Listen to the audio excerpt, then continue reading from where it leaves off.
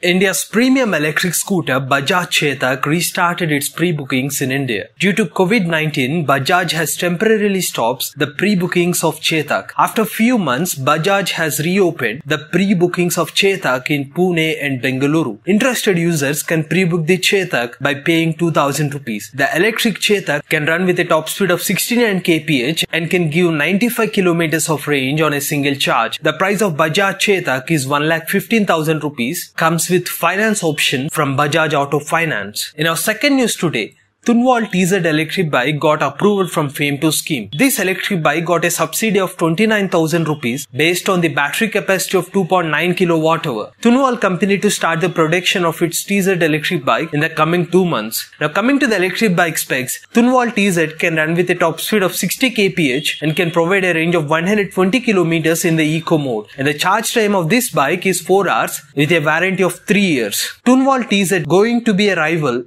to Credin R and Revolt RV400 once it's launched in the market. In our third news today, Minister of Road Transport and Highways Nitin Gadkari said that he has invited Tesla management to start its manufacturing unit in India. He had a video conference with Tesla management to start its manufacturing unit as early as possible. Tesla already announced its entry in India by 2021, mostly it will sell its Model 3 electric car. However, the recent statement by Nitin Gadkari highlights the importance of an old class EV maker entry to India. Go green, go electric.